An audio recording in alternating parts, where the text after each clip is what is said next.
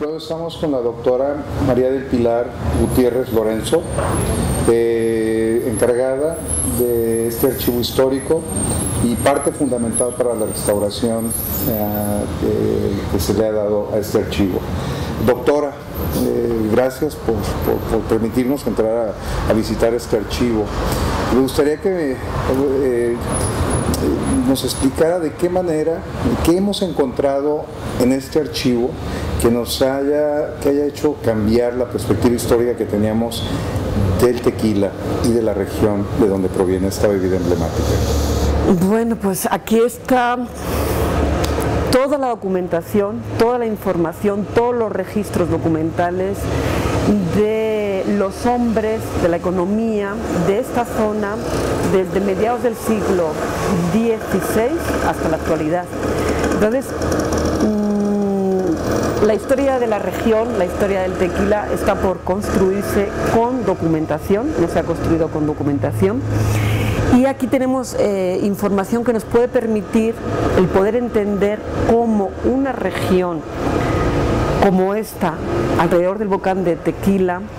se transforma de ser una región en el siglo XVI trapichera,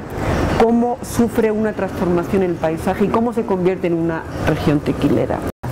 Este archivo es fruto de un proyecto de rescate que se inició en el 2003 gracias pues, al esfuerzo y a la colaboración de varias instituciones, entre ellas la Universidad de Guadalajara,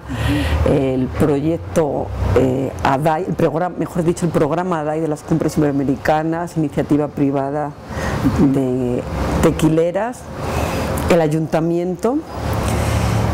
y durante el 2003 al 2006 que se inauguró se rescató este archivo que estaba en bodegas, no existía, no existía el archivo, la documentación estaba dispersa, desestructurada, entonces hubo que leer toda la documentación, hubo que eh, registrar documento por documento de qué se trataba y entonces cuando nos dimos cuenta que se trataba de un archivo de corregimiento y de subdelegación, un archivo del antiguo régimen, un archivo de gobierno local y provincial. Eh, archivos que en México, desgraciadamente, por los avatares y por las guerras del siglo XIX y el siglo XX, prácticamente no existen, no, no existen archivos de estas características.